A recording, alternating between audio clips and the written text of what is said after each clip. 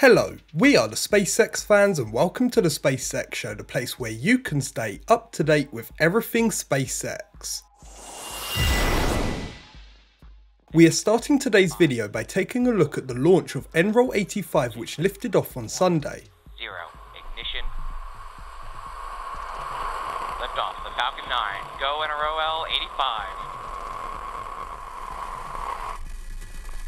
The booster which launched to this mission, B-1071, then landed successfully for the second time on the landing pad at LZ-4. Stage 1 landing confirmed. And as you see on your screen, the Falcon 9 first stage has successfully landed at our landing zone, making this the second consecutive landing for this booster. We also have another couple of launches coming up this week.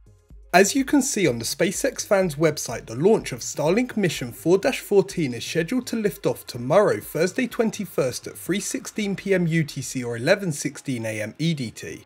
As well as that launch, the launch of Crew 4 is expected to lift off on Saturday 23rd at 9.26am UTC or 5.26am EDT. In preparation for the Crew 4 mission, SpaceX posted a tweet with some great pictures of the rocket and capsule rolling out. SpaceX also posted a tweet saying static fire test of Falcon 9 complete ahead of the Crew 4 mission to the space station. In another tweet, SpaceX posted some pictures of the astronauts that will be flying on this Crew 4 mission. Expected to return on Monday, the Axiom 1 mission return has been delayed as SpaceX posted a tweet about bad weather being the reason. Axiom Space also posted a tweet yesterday about the return of their astronauts.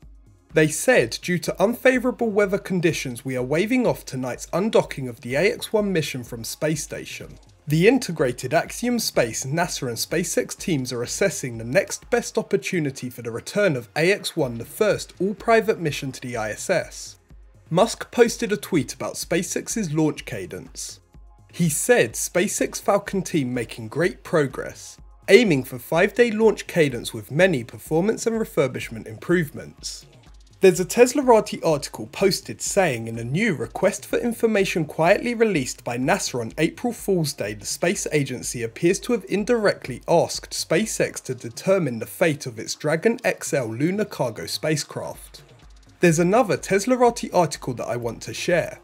It says the National Academies of Sciences, Engineering and Medicine have published their latest decadal survey of planetary science and astrobiology revealing a recommendation that NASA prioritise the development of a flagship mission to Uranus baseline to launch on SpaceX's Falcon Heavy rocket.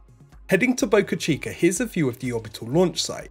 This new mystery structure was spotted delivered to the launch site. The work to complete the new wide bay in the production yard is continuing, Here's a view of the new production tent being constructed in the yard. Starship Gazer posted a great picture on Twitter of the first beams going up for the new production building being dubbed Star Factory. Later on they also posted a further picture on Twitter with another beam that has been put into position for Star Factory. The work on this new building is progressing very rapidly. This Raptor 2 engine number 42 was delivered to the yard. The nose cone being constructed in the tent is being prepared for flap installation. The umbilical to transfer propellant into Booster 7 was disconnected. Booster 7 was then prepared to be lifted off of the structural test stand. Booster 7 was then lifted off the structural test mount and onto the transport mount. Super Heavy Booster 7 has now been rolled back to the production site. The Booster 8 LOX section was lifted and stacked with an aft ring stack. With Booster 7's arrival, Booster 8 was moved out of the high bay. Booster 7 was then moved into the high bay. Work is now continuing on Booster 7 in the high bay. As always, I have to say thank you to Mary, otherwise known as Boca Chica Gal, for being out there filming the Starbase content. As well, thank you to Nic Ansuini for filming some of the Starbase content in this video too. Also, thank you to the NASA spaceflight team working behind the scenes on their videos, live streams and other space content. That's it for this episode of the SpaceX Show. I hope you enjoyed the video. If you did, make sure to hit the like button and leave a comment down below. If you want to stay updated with SpaceX info, make sure to subscribe and press the bell icon to get notified when I upload. Thanks for watching and have a great day.